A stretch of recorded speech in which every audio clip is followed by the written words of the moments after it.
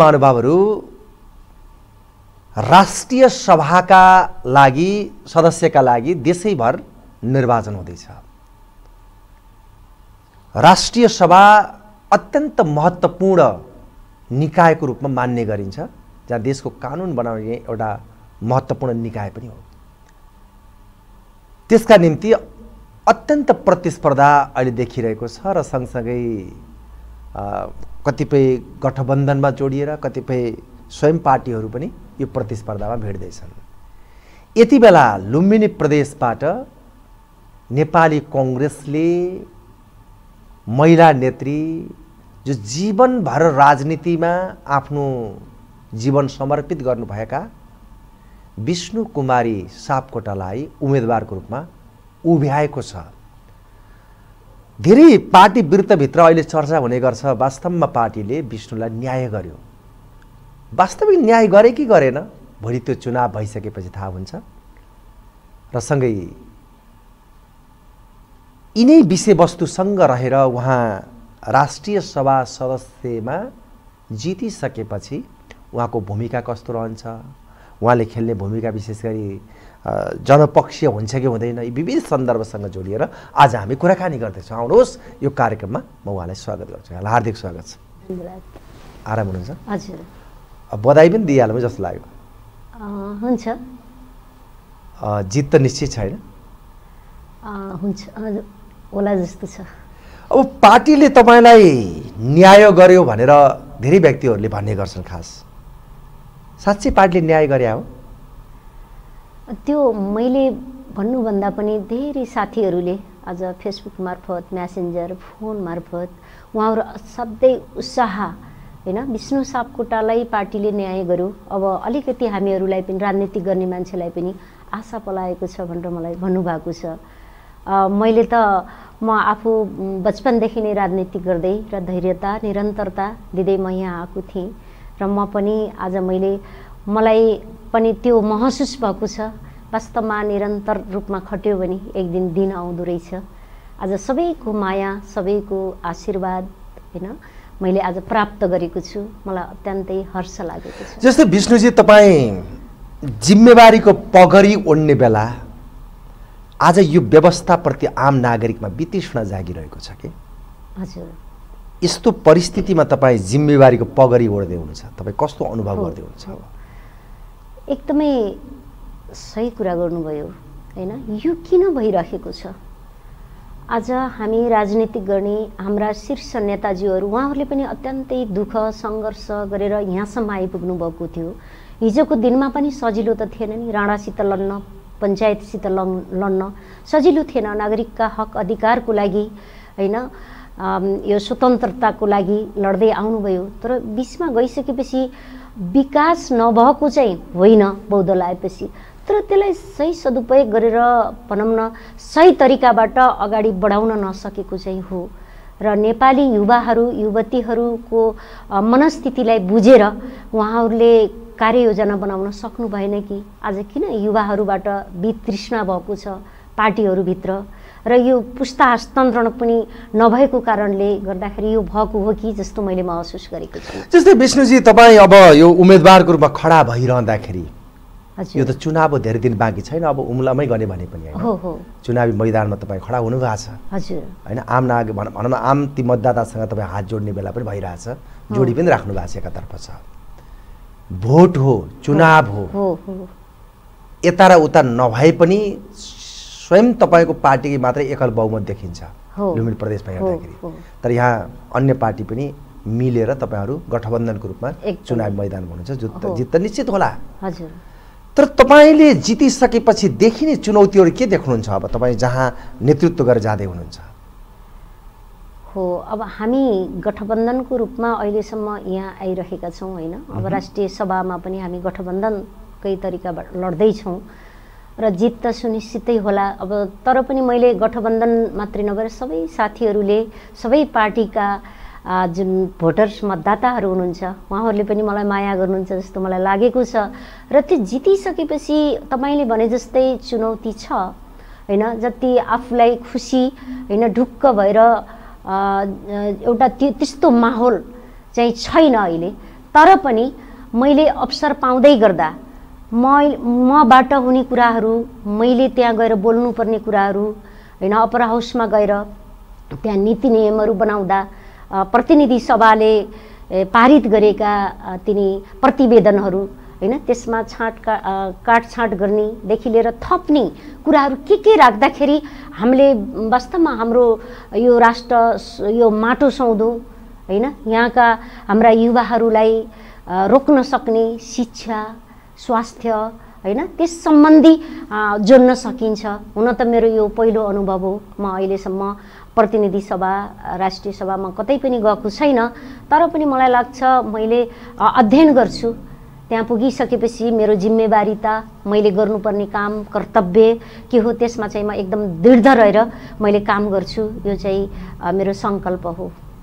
जुन खालको गठबन्धन गरेर तपाईँहरू चुनावी मैदानमा हुनुहुन्छ नि तपाईँकै पार्टीभित्र कतिपय शीर्षस्थ नेताहरू सन्तुष्ट छैनन् कि?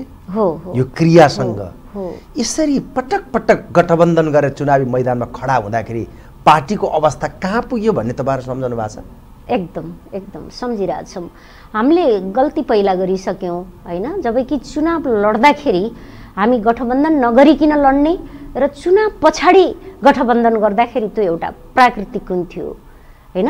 अलिकति कतै अप्राकृतिक भयो कि? चुनावमा सँगै जाँदाखेरि हामीले जस्तो अब रुखमा भोट हाल्नुपर्छ भनेर सिकाइराखेका थियौँ। हामीले पनि त्यही सिकेका थियौँ। हामीले हिजो हँसिया हतौडामा भन्यौँ कलममा भन्यौँ होइन? गिलासमा भोट माग्यौँ। यसरी जाँदाखेरि कतै अप्राकृतिक चाहिँ पक्कै पनि भएको हो। अब हामी त्यति बेला जुन एउटा उद्देश्य बोकेर होइन यसलाई स्थिर सरकार बनाउनुपर्छ। होइन अस्थिरताले झन् नेपालमा खलबलायो चाहेका कुराहरू गर्न सकिएन। स्थिरताको लागि भनेर यो गठबन्धन गरेर हामी चुनाव लडि त सक्यौँ। अब चाहिँ बिचमा गइसकेपछि यो जुन कार्यकाल छ यसमा हामीले त्यसलाई थिर सरकारको लागि यसलाई टुटाउनु चाहिँ राम्रो हुँदैन जस्तो लाग्छ मलाई। निरन्तरता दिनुपर्छ भने मान्यता छ। निरन्तरता यो कार्यकाल। यो कार्यकाल जस्तो अब चुनाव लड्दाखेरि त आफ्नो आफ्नो चिन्ह लिएर लड्ने। चुनावमा गठबन्धन गरेर जाने होइन।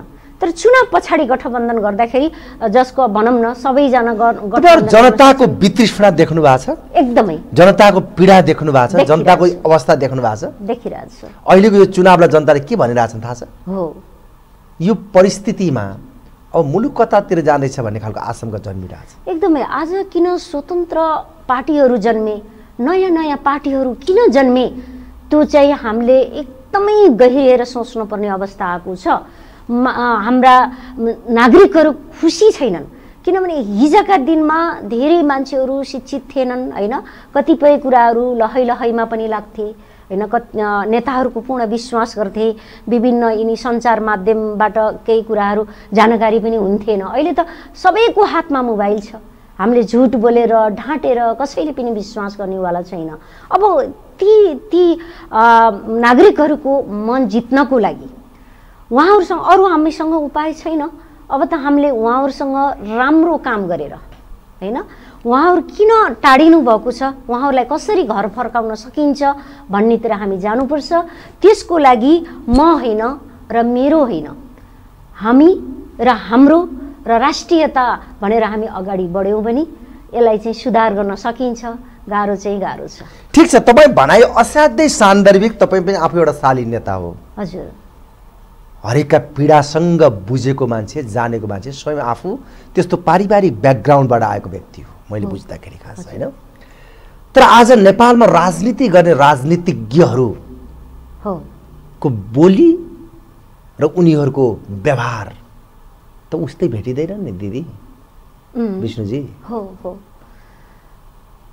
त्यो मात्रै भइदिएको भए बोली र व्यवहारमा फरक देखियो।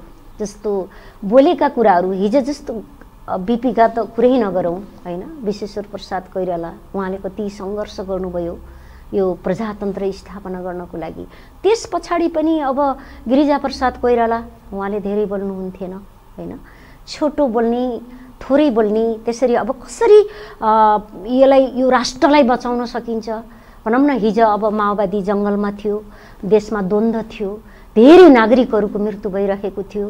होइन पुलिस मरे पनि नेपाली नागरिक माओवादी मरे पनि नेपाली नागरिक। होइन सर्वसाधारण जो मरे पनि नेपाली नागरिक हो यिनलाई बचाउनुपर्छ भनेर एउटा रिक्स लिएर अगाडि बढ्नु भएको थियो। त्यस्तै गरेर सुशील कोइराला एउटा सन्त नेता नै हुनुहुन्थ्यो।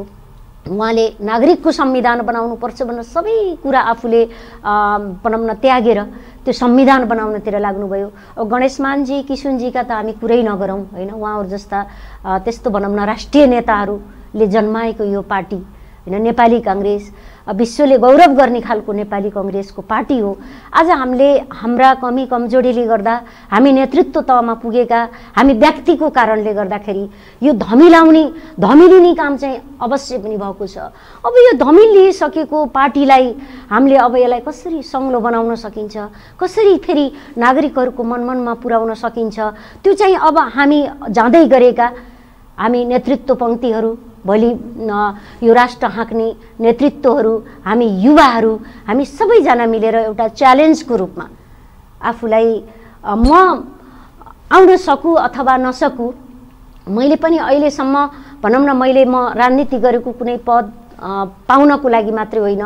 मैले कुनै सम्पत्ति कमाउनको लागि मात्रै होइन। मैले त यो व्यवस्था सुधारको लागि यो समाजलाई परिवर्तनको लागि मैले राजनीति गरेको हो। त्यही भएर मेरो घर परिवारले पनि तैँले काङ्ग्रेसबाट के पाइस् तैँले काङ्ग्रेस छोड पार्टी छोड भनेर भन्दा होइन म चाहिँ म छोड्न सक्दिनँ। तर म म परान छोड्न सक्छु किनभने मैले यत्रो मेहनत गरेँ।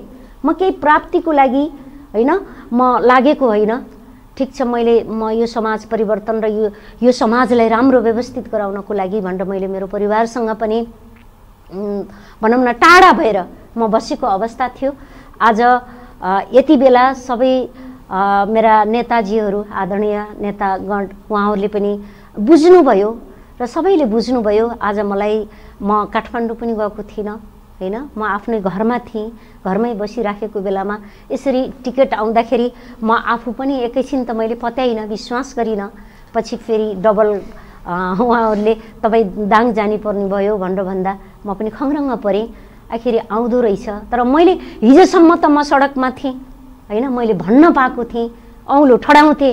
अब त मेरो जिम्मेवारीमा आयो। अब म प्रति सडकमा बाहिर भएको साथीहरूले औँलो ठडाउने बेला आएको छ। अब मैले यो जिम्मेवारीलाई कसरी गहन गर्न सक्छु? मलाई त्यो चिन्ता परेको छ होइन? वास्तवमा तपाईँ यो निर्वाचन लड्दै गर्दाखेरि त्यति नैराश्यजनक कुरा त म गर्न खोज्या होइन। हजुर। निरुत्साहित पार्न खोज्या पनि होइन। किनकि एउटा शुभ सङ्केत तपाईँले गरेको सङ्घर्षलाई मध्यनजर गरेर पार्टीले तपाईँलाई टिकट दिएछ। हजुर त्यो पनि संयुक्त गठबन्धनको हिसाबबाट तपाईँ चुनावी मैदानमा हुनुहुन्छ खास मैले बुझ्दाखेरि। तर आज परिस्थिति तपाईँले बुझ्नु भएको छ? एउटा सामान्य खानेपानी संस्थानमा चुनाव लड्दाखेरि महागठबन्धन गरेर चुनाव लड्दा पनि स्वतन्त्रहरूले जित्न थाले। यो परिस्थितिले अब हिजो मेरो पार्टी मेरो चाहिँ कङ्ग्रेस मेरो एमाले मेरो माओवादी भनेर राजनीति गर्नेहरूलाई भोलिका दिनले के सङ्केत गर्ला? मैले अघि पनि भने यो एउटा वितृष्णा हो। वितृष्णा भएका साथीहरूलाई हामीले उहाँहरूलाई अलिकति आशा र भरोसा जगाउने कामतिर हामी जानुपर्छ। र अब भनौँ न स्वतन्त्र पार्टीहरू साना पार्टीहरू अहिले अब राजावादी पार्टीहरू उहाँहरूले पनि त हिजो राजा पनि त यो देशमा दुई सय चालिस वर्षसम्म त राज संस्था रहेकै हो त। होइन? त्यस पछाडि बौद्धल आइसकेपछि पनि त संवैधानिक राजाको रूपमा वीरेन्द्र राजालाई मान्दा शान्ति नै थियो। जब उहाँको परिवारभित्र हत्या भयो त्यस पछाडि ज्ञानेन्द्र राजालाई राजा बनाएकै त हो नि। उहाँले पनि त नेताको रूपमा भाषण गर्दै हिँड्न थाल्नुभयो। यो देशले सबैको परीक्षण गरिसकेको छ। साना पार्टीहरू जस्तो स्वतन्त्र पार्टीहरू उहाँहरूसँग त यो एउटा वितृष्णा भएर फ्रस्ट्रेसन भएर गएका कार्यकर्ताहरू नेताहरूसँग चित्त नबुझेर पार्टीसँग होइन। नेतृत्वसँग चित्त नबुझेर उहाँहरूले त्यसरी गएर एउटा एक्सन लिनुभएको त्यो खबरदारी गरेको। यो खबरदारीलाई हामीले बुझ्नुपर्छ। हामी ठुला पार्टीहरू मैले अघि पनि भनिसकेँ यी ठुला पार्टीहरू त्यत्तिकै ठुला पार्टी बनेका होइनन् के?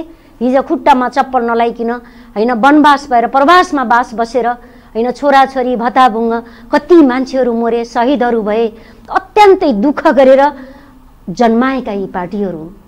यिनलाई बचाउनको लागि अब हाम्रो पालो सकियो हामी बुढा भयौँ हामी मर्छौँ जेसुकै होस् भन्ने अब सोचाइ हो भने त उहाँहरूले सत्ता छोड्दै हुन्छ होइन? नेतृत्व छोड्दै हुन्छ।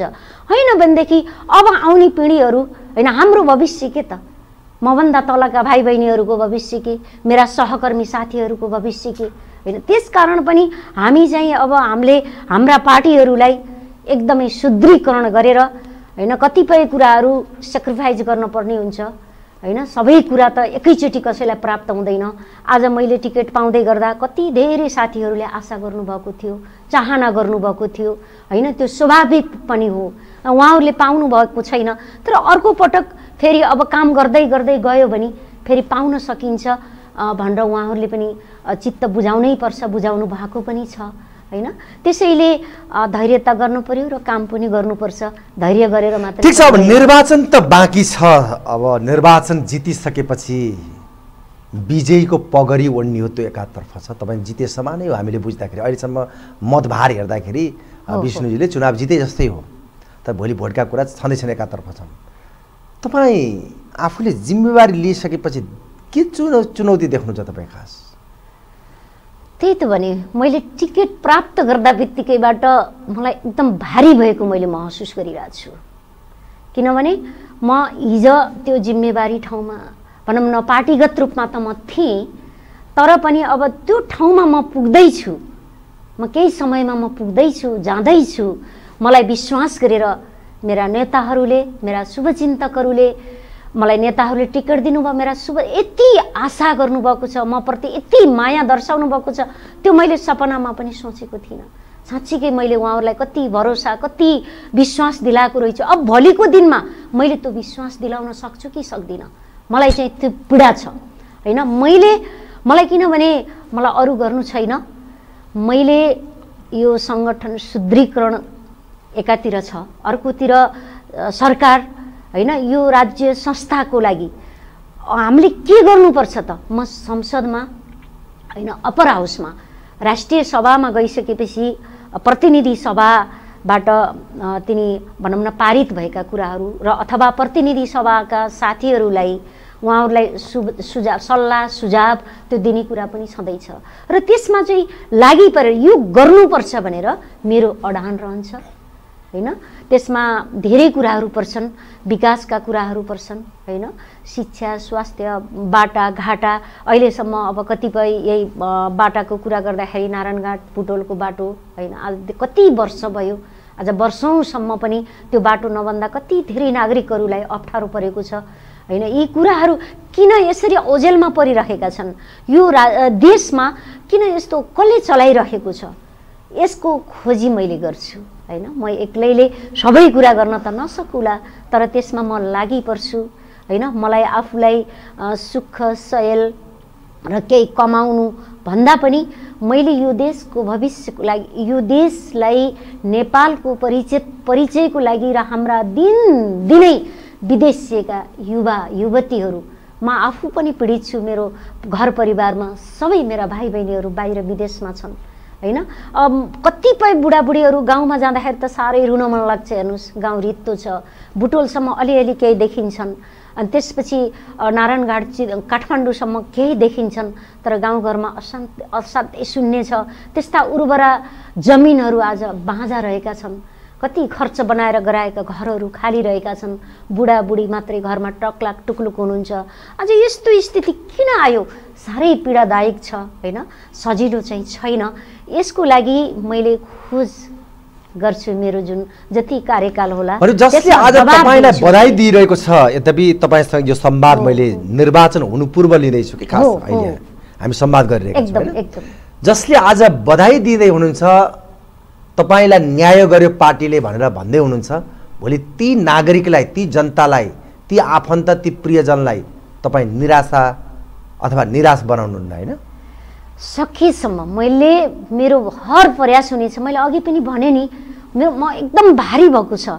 मलाई एकदम मैले मेरो टाउकोमा चाहिँ मैले यति ठुलो भारी बोकेको छु मैले। मलाई जति उहाँहरूले मलाई शुभकामना दिनुभएको छ नि यति उहाँहरूले मलाई बधाई दिनुभएको छ। उहाँहरूले मलाई त एकदमै माया गरेर विश्वास गरेर त्यत्रो आशा गर्नुभएको छ नि। मबाट कतै पनि उहाँहरूको त्यो मनमा ठेस लाउने काम भयो भने मेरो राजनीतिक चाहिँ सार्थक हुँदैन। र म बाँचेको पनि म मेरो त्यो त्यो कुनै भेल्यु हुँदैन। मैले त्यो महसुस गरेको छु। मैले उहाँहरूलाई सकेसम्म मैले सबैसँग तल्लो लेभलमा गएर उहाँहरूका कुराहरूलाई सुनेर किसानका कुराहरूदेखि लिएर श्रमजीवीहरूका कुराहरूदेखि लिएर के गर्नुपर्छ त? कार्ययोजना बनाउँदाखेरि राष्ट्रिय कार्ययोजना बनाउँदाखेरि म गाउँ गाउँमा गएर त्यो टिपोट गरेर आफै किनभने म त ग्रासरुटमा बसेर राजनीति गरेको मान्छे हो। मलाई त्यो ग्रासरुटको बारेमा थाहा छ। आज कतिपय बिरामीहरू औषधि उपचार नपाएर मरिरहेका छन्। किडनी फेल हुन्छ। विदेशमा भएका साथीहरूसँग चन्दा माग्नुपर्छ। यौदी पसलौँदी गएर चन्दा माग्नुपर्छ।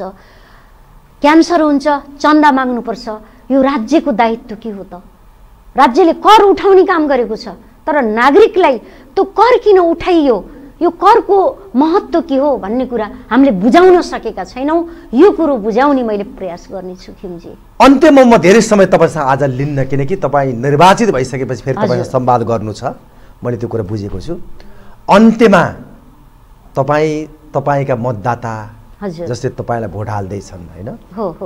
तपाईँका शुभचिन्तक शुभेच्छुकहरू र सँगै तपाईँबाट धेरै आशा गर्ने आम नागरिकलाई यो। बुद्ध समुदाय टेलिभिजन मार्फत सामाजिक सञ्जालको माध्यमबाट तपाईँ के भन्न चाहनुहुन्छ खास? आदरणीय मेरा मतदाताजीहरू जो पालिकाका प्रमुख उपप्रमुख हुनुहुन्छ नगरपालिकाका मेयर उपमेयर हुनुहुन्छ र प्रदेश सभाका सदस्यज्यूहरू हुनुहुन्छ सम्पूर्ण प्रदेश सभाका सदस्यज्यूहरू सम्पूर्ण पालिकाका प्रमुखज्यूहरू उपप्रमुखज्यूहरू यहाँहरूसँग मैले मेरो लागि मत माग्न चाहन्छु। किनभने म कुनै एउटा प्रतिनिधिको रूपमा म उठेको छु म गठबन्धनबाट उठे पनि म तपाईँहरू सबैको हो। तपाईँहरूले मलाई मत दिनुहोला किन मैले तपाईँहरूलाई आफ्नो भनेर महसुस गराउनेछु। र जस्तो आम नागरिकहरू जस जसले मलाई शुभकामना दिनुभएको छ कतिले थाहा पाउँदै हुनुहुन्छ कतिले थाहा पाइसक्नु भएको छ मलाई फोन मार्फत मलाई फेसबुकबाट मलाई म्यासेन्जरबाट मैले हेरेर पनि मैले सकेको छैन। यति धेरै माया दिनुभएको छ यति धेरै माया दिनुभएको छ। तपाईँहरूको भावनामा मैले ठेस लाउने काम कहिल्यै गर्ने छैन? तपाईँहरूलाई म निराश बनाउने छैन। यहाँहरूको सल्लाह सुझाव लिएर म अगाडि बढ्नेछु। तपाईँहरूको माया ममता मैले सधैँभरि पाइरहु र मलाई आज यहाँ बोलाएर बुद्ध टेलिभिजनले यति कुरा राख्ने जुन अवसर दिनुभयो होइन? यो बुद्ध टेलिभिजनलाई पनि मैले धेरै धेरै धन्यवाद दिन चाहन्छु। महत्त्वपूर्ण समय दिनुभयो यहाँलाई धन्यवाद। चुनाव जित्नुहोस् हस्। शुभकामना। आम नागरिकले जे अपेक्षा गरेका छन् राष्ट्रले जे वास्तवमा चाहेको छ जुन स्थिति राष्ट्रको छ त्यसलाई सबल राष्ट्रको रूपमा अगाडि बढाउनका निम्ति भूमिका निर्वाह गर्नुहोला। यो समय र संवादको निम्ति यहाँलाई म धन्यवाद र अग्रिम विजयको शुभकामना पनि म दिन चाहन्छु। हस् धन्यवाद। आदरणीय दर्शक महानुभाव आज हामीले कुराकानी गऱ्यौँ नेपाली कङ्ग्रेसको तर्फबाट लुम्बिनी प्रदेशबाट राष्ट्रिय सभाका राष्ट्रिय सभा सदस्यका उम्मेदवार महिला नेत्री आदरणीय दिजु विष्णु कुमारी सापकोटासँग। उहाँसँगको यो संवादसँगै प्रविधिमा साथ दिने भाइ नरेश अधिकारी र शङ्करलाई धन्यवाद दिँदै यो कार्यक्रमबाट म पनि आगे चाहन्छु। नमस्कार।